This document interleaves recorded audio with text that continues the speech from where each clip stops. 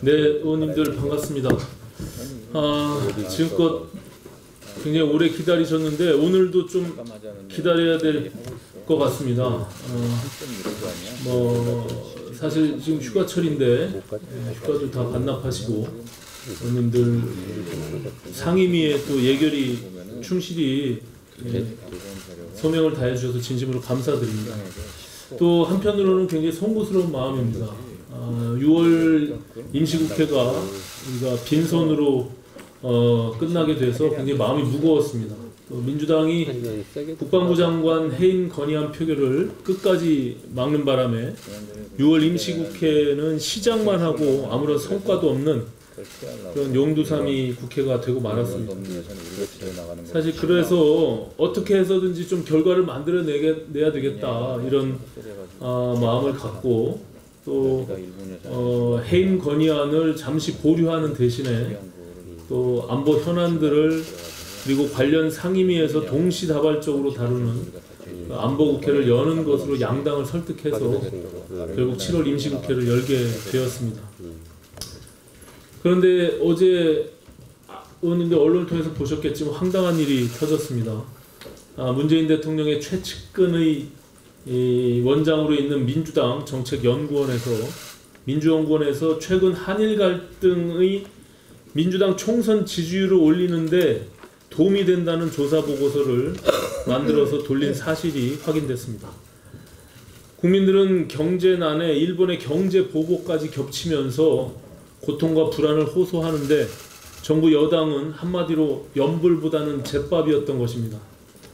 아, 이 사람들이 일을 합리적으로 풀지 않고 왜 그토록 반일 감정을 선동하고 올인했는지 그 이유가 만천하에 드러난 것입니다.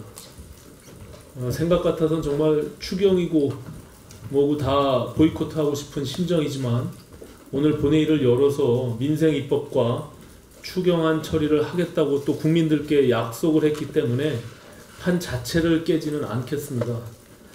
아, 추경의 내용이나 또 정부 여당의 태도를 보면 현재까지 모두 낙제점입니다. 현재 정치 지형을 고려할 때 추경안 처리 자체를 막기보다는 앞으로 정부 여당이 그 어떤 결과물을 만들어낼 것인지를 지켜보면서 그, 그 결과에 대한 책임을 묻는 것이 국민 눈높이에 맞는 선택이라고 생각했습니다. 아, 바른미래당의 입장은 약속대로 추경 처리는 할 수 있게 해준다는 것이, 것이지 추경과 관련한 부분들을 찬성한다는 것은 아닙니다. 따라서 당론으로 추경 찬성을 강제하지는 않겠습니다. 다만 본회의에서 정족수 미달로 추경 처리가 무산되는 상황만은 우리 의원님들께서 막아주시기 바랍니다. 그래서 오늘 상당한 시간이 걸릴 것으로 예측되고 여기 지상욱 예결위 간사가 와 계시니까 이따 어, 비공개 때 내용들을 좀 듣고 판단을 하면 좋을 것 같습니다. 아, 일단 추경 문제를 넘겨놓고 안보 문제와 또 한일 관계 또 패스트트랙 지정 법안들 처리 문제들을 가지고서 야당으로서 우리가 해야 될 역할들을 찾아서 나가겠습니다. 지난 4월부터 장장 석 달이라는 진통 끝에 오늘까지 왔습니다. 의원님들 그동안 보여주신 인내심의 경의를 표하고 또 감사의 말씀을 드립니다. 아, 오늘 어, 아직까지 그 추경이 합의가 되지 않은 상태에 있고 지금 3시 10분에 의장이 원내대표들을 모아서 아, 법안 처리를 먼저 할 것인지 추경 처리를 먼저 할 것인지를 논의하자고 했는데 저는 의총 때문에 못 가겠다고 통보를 한 상태에 있습니다.